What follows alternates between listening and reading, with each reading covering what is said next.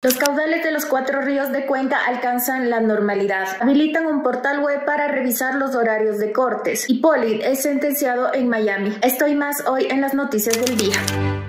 Ante las constantes lluvias en el Austro, la central de Molinos produjo 540 kilovatios de energía en tan solo una hora y luego comenzó a bajar su producción. En cuanto a amasar, ha subido aproximadamente 6 metros en una semana y se necesita que suba de 25 a 30 metros para volver a la normalidad. Se pronostican lluvias para lo que queda de este miércoles y los cuatro ríos de Cuenca están con caudales en estado normal. El Ministerio de Energía habilitó el portal web energiaecuador.com para que la gente pueda revisar los horarios de los apagones. Carlos Polit, quien fue Contralor del Ecuador durante 10 años, recibió su veredicto en Miami. Fue acusado en 6 de las 6 acusaciones que se le hicieron. Todavía no tiene años de sentencia, pero se calculan de 20 a 30. Él estuvo involucrado en el caso Odebrecht, entre otros, por favorecer a algunos a cambio de coimas o dinero. Un nuevo operativo que forma parte de un supuesto tráfico de influencias en la designación de siete jueces para la Corte Nacional de Justicia en